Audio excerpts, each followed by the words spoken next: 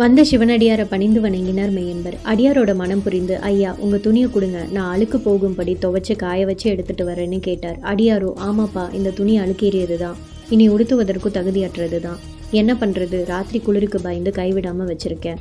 ஒருவேளை மேற்கில் சூரியன் மறையறதுக்கு முன்னாடி துவைச்சு காய வச்சு கொடுக்க முடியும்னா கொண்டு போன்னு சொல்கிறார் உடனே நாயனார் நான் பொழுது சாயறதுக்குள்ள துணியை வெளுத்து கொண்டு வரேன்னு சொல்கிறார் சிவனடியாரோ அப்படி கொண்டு வரலனா இந்த உடலுக்கு துன்பம் செய்தவர் ஆவீர்னு அங்கிருந்து புறப்பட்டார்.